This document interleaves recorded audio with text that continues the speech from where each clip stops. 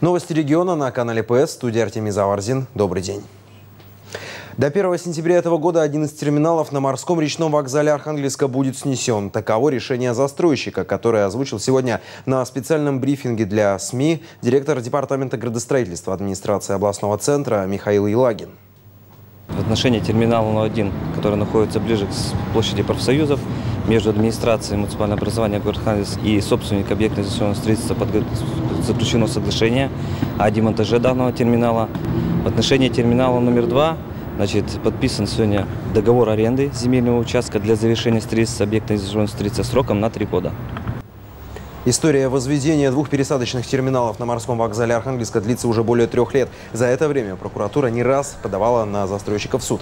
По версии надзорных органов, терминалы не отвечают российским требованиям безопасности. Также было множество нарушений в проектно-сметной документации. Стоит заметить, что вместо снесенного терминала построят стоянку для автобусов и машин, территорию вокруг благоустроят. Летняя оздоровительная кампания в регионе набирает обороты. В детских лагерях Архангельской области уже побывали почти 30 тысяч юных северян. До середины июля к месту отдыха отправятся еще 818 детей. За пределами области наслаждаются солнцем и морем более трех тысяч ребят. По информации Роспотребнадзора, за первую смену летней оздоровительной кампании инфекционных заболеваний и пищевых отравлений не было.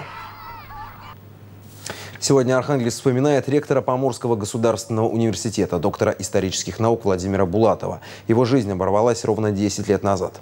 Коллеги называли его личностью уникального масштаба. Булатов – автор более 16 печатных работ по истории и культуре Севера. Впрочем, помимо серьезных исторических исследований, он занимался и управленческой работой. Педагогическому вузу Владимир Булатов отдал 30 лет. Во многом благодаря ему диплом Поморского университета стал знаком качества фундаментального классического образования. Он же автор автор идеи Федерального университета, один из создателей Ломоносовского фонда. Защитив докторскую диссертацию в МГУ по Арктике, Булатов уже тогда понимал, что государство обязательно обратится к арктическому вектору развития. Владимир Булатов прожил всего 61 год. В Архангельске будет создана единая электронная карта горожанина. Ею можно будет оплатить проезд в автобусе, на речном трамвае, пригородном поезде.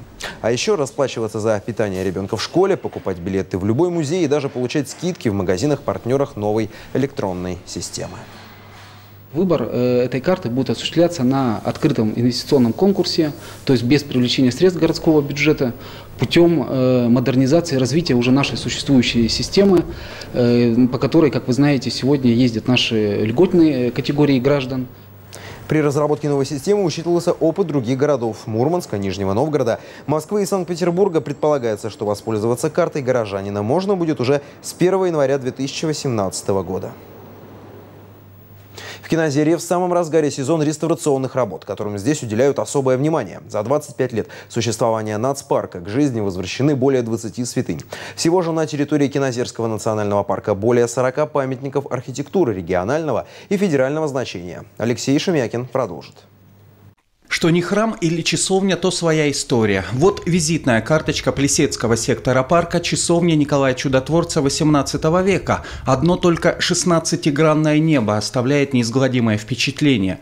Многие венцы были утрачены, но центральный, на котором изображена Святая Троица, удалось сохранить. Остальные отреставрировать. Это уникальное архитектурное решение местных жителей, ведь такие небеса были не свойственны маленьким часовням. Кинозерские крестьяне раньше часто занимались отходничеством, то есть уезжали в крупные города на заработки. И когда они приходили в этих городах, вот, большие красивые церкви, им очень нравились эти расписные своды, мозаики. И свои маленькие северные часовенки они тоже хотели как-то украсить и сделать их похожими на вот эти красивые каменные храмы. На самом большом острове Кинозерья Медвежий чудом удалось сохранить часовню Святого Власия. В 90-е годы помогли норвежские друзья парка.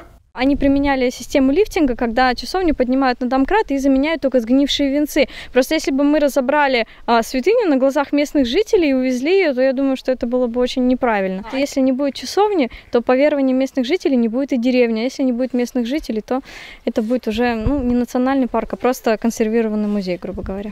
Еще одну часовню с острова Медвежий увезли в музей Малой Карелы, а вот жители деревни Зихнова более 50 лет назад не позволили разобрать часовню Иоанна Богослова. Сергею Лопатину было тогда всего 10 лет, но он хорошо помнит, как прилетел вертолет с рабочими, чтобы перевести святыню, но на ее защиту вышла вся деревня.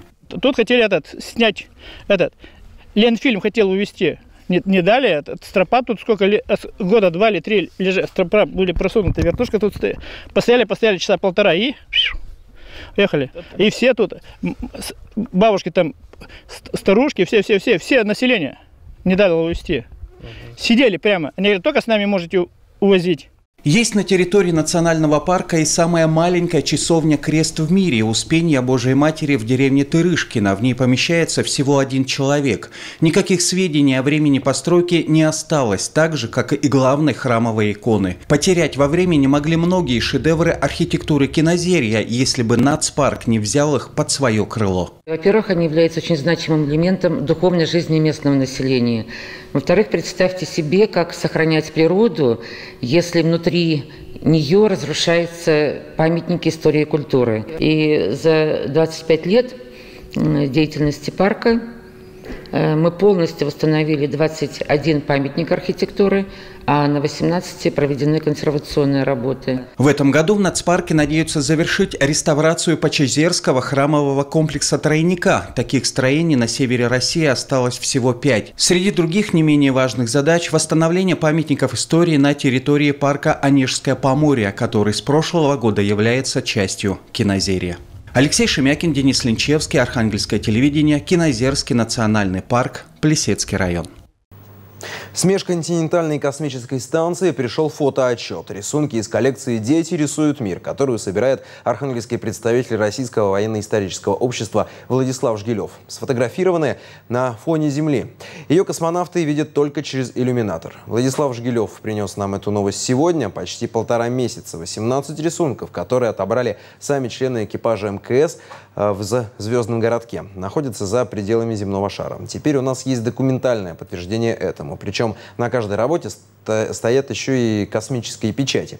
Эти рисунки собраны из Донецка, Грозного, Цхинвала, Беслана, то есть тех мест, где дети, к сожалению, не от бабушек и дедушек узнали, что такое война. Поэтому с большим чувством рисуют мир. Есть среди авторов и архангельские ребята. Выставка «Дети рисуют мир» работала в областном центре и, конечно, обогатилась творениями местных художников. А сейчас в Верхнетоемский район. Там увидел свет сигнальный экземпляр энциклопедического словаря. Он стал подарочным изданием к 880-летию села. В книге собран богатейший материал об истории, экономике Верхнетоимского района на разных этапах его развития и, конечно, главной ценности русского севера – людях.